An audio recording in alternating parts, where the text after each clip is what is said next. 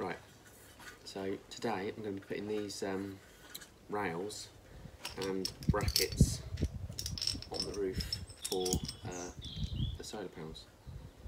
So uh, these short bits are really quite useful having, rather than having a long run, especially when you're working on your own.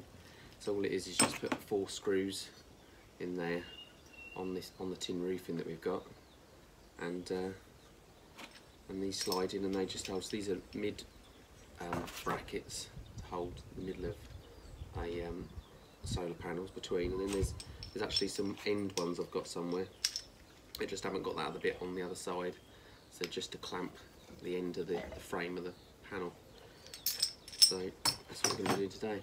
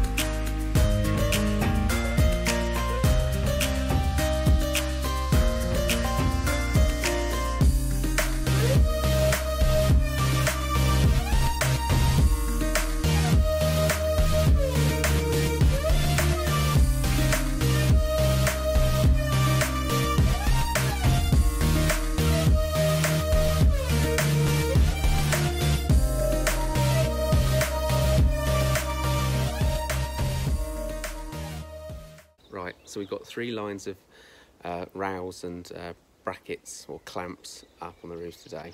There's another one that's got to go along there, uh, probably hopefully tomorrow. If anyone's struggling to get this sort of stuff for their um, solar panels, um, there's a place called Midsummer Energy in Cambridge and they were really good and they've even got um, a site on, on online that you can plot in your dimensions of your roof and it'll work out how many panels you'll get on there, how many brackets and clamps and rails you need. So that was really very handy and um, and it was um, it was easy. So uh, if anyone's struggling, give them a look up. So there'll be a load of more videos like this coming. So like and subscribe and uh, hopefully you'll catch us again soon.